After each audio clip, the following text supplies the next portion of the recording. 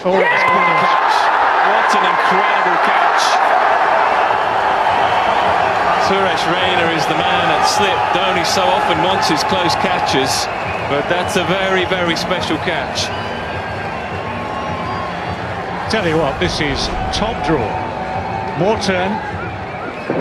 And that goes pretty quickly and pretty low. Suresh Raina very quickly down to his right.